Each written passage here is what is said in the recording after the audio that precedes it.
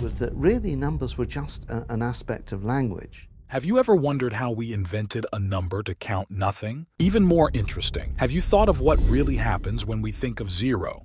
Long before calculus or binary code took over the digital world, zero was first recognized as a placeholder in ancient India. Over the years, it became a key part of math, helping us do complex calculation, generate digital codes, and realize when our bank account is empty. But why does the human brain need to represent nothing? And in what strange ways do our brains process the concept of zero? Let's find out in this video how our brain creates something from nothing by thinking about zero.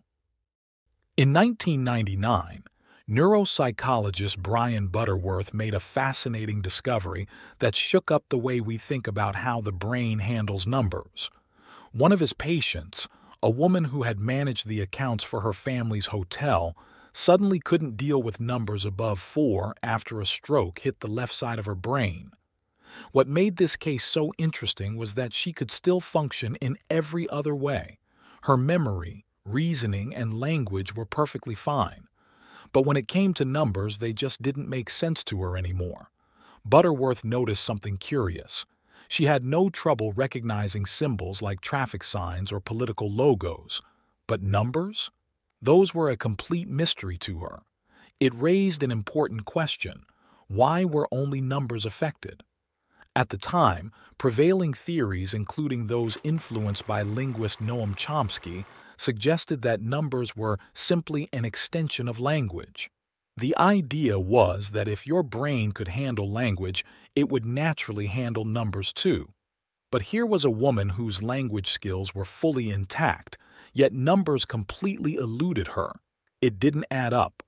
Butterworth's research led to a surprising conclusion. The brain treats numbers and language differently.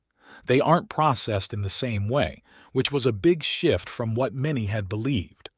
This distinction becomes particularly intriguing when we focus on how our brains handle the number zero. On one hand, zero serves as a placeholder, making complex math much simpler. Take, for example, how it helps us tell the difference between 70 and 7007 Without it, we'd be lost. On the other hand, it stands alone as a number that represents the absence of anything. How does our brain reconcile these dual roles of zero? Keep watching as we explore recent discoveries on the way our brain processes this revolutionary concept.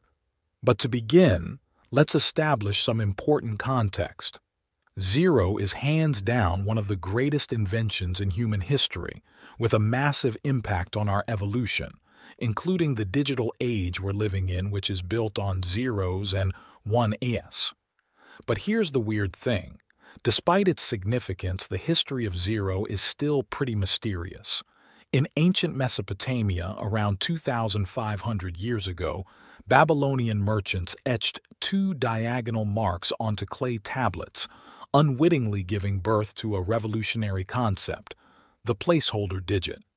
This humble innovation allowed for the distinction between numbers, laying the foundation for a fundamental shift in mathematical understanding.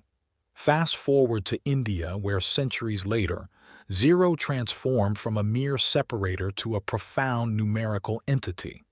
Indian mathematicians boldly assigned zero a numerical value positioning it alongside other numbers on the number line, with the first recorded instance attributed to the trailblazing Aryabhata in the 5th century AD. This groundbreaking achievement cemented Aryabhata's legacy, earning him a permanent place in the records of mathematical history. Brahmagupta, Another prominent Indian mathematician around 650 AD formalized arithmetic operations using zero. He used dots under numbers to indicate zero calling it sunya, which means empty in Sanskrit. Brahmagupta established rules for addition and subtraction involving zero, setting a foundation for mathematical operations with the number. However, he incorrectly stated that dividing any number by zero would result in zero.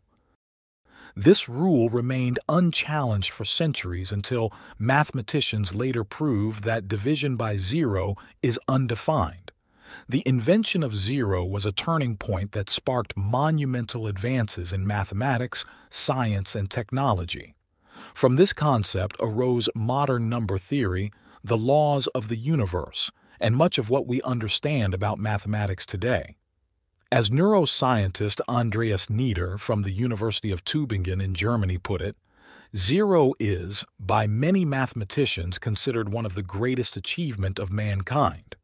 It took millennia for the concept of zero to be recognized as a number which underscores its complexity. Zero is uniquely challenging for the human brain.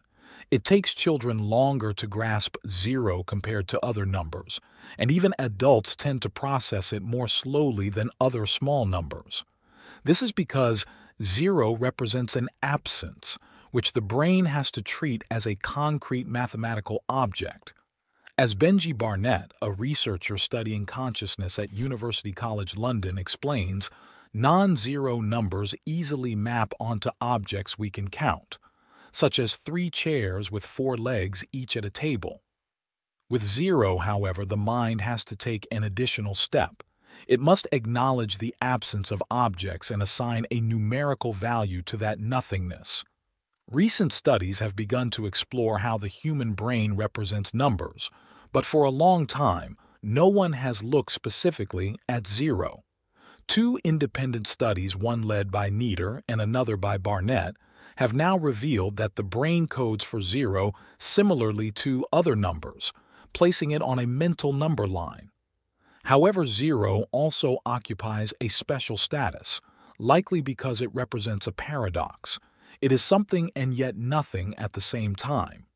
Zero first spread beyond India to the Arab world, where it gained further recognition. By the 13th century, Fibonacci, a traveler and mathematician, brought zero and the base 10 number system to medieval Europe after encountering it in North Africa. At first, zero was met with skepticism and confusion. Its ability to represent nothing challenged deep-seated theological and philosophical ideas. The Church, in particular, resisted the concept associating it with chaos and disorder. Many theologians even regarded zero as the devil's number. Despite this initial resistance, zero eventually found its place in European society, especially in commerce and finance. By the 15th century, merchants recognized the utility of zero and it became integral to mathematics, accounting, and business. However, its mysterious nature persisted. From a philosophical perspective, zero has always fascinated thinkers. Jean-Paul Sartre, the existentialist philosopher, once remarked that nothingness carries being in its heart, a sentiment that aligns well with the strange and paradoxical nature of zero. For researchers studying how the brain processes numbers, zero remains the most fascinating number.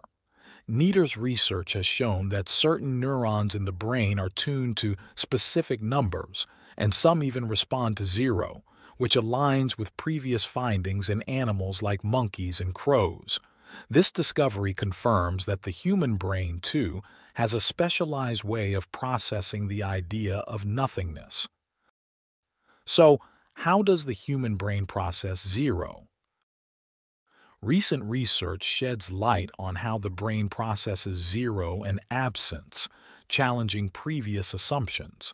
For decades, the focus in consciousness and perception science was on brain activity related to detecting environmental stimuli. However, this neglected the experience of absence, such as realizing your keys are missing. Initially, researchers believed absence was simply the lack of neuronal firing, but new studies, including work by Benji Barnett and Stephen Fleming at University College London, demonstrate that the brain encodes absence using unique neural patterns. Barnett's research, published in Current Biology, investigated the brain's processing of zero. Using magnetoencephalography, he and his team studied brain activity in participants performing zero-related tasks. Their findings revealed that the brain treats zero both as a digit and a quantity. Similarly to other numbers, exhibiting the numerical distance effect. The brain distinguishes more easily between numbers farther apart on the number line. This suggests zero is represented on the brain's neural number line. Independently, Andreas Nieder and Florian Mormann's research, also published in Current Biology, corroborated these findings. Using data from epilepsy patients with implanted brain electrodes, they observed the numerical distance effect for zero.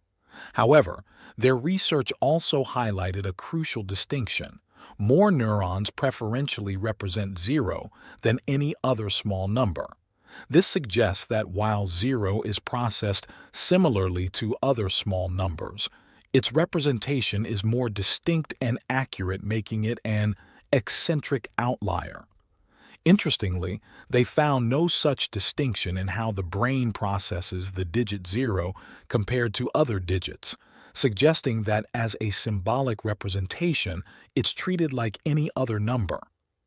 While the brain processes zero similarly to other numbers in many ways exhibiting the numerical distance effect, it also represents zero more distinctly than other small numbers due to a higher neuronal allocation. This suggests a dual nature. Zero is integrated into the numerical system, but maintains a unique neural signature reflecting its fundamental role in representing absence. The research highlights the brain's sophisticated ability to represent both the presence and absence of stimuli, with zero acting as a critical bridge between these two concepts. With more research, we will discover how the brain's representation of zero interacts with other cognitive functions, such as memory, attention, and decision making.